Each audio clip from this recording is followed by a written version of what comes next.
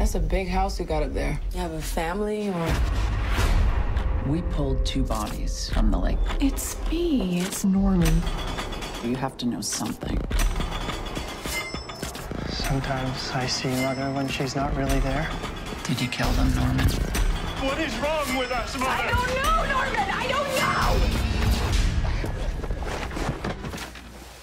If I had a quarter, I'd make a wish.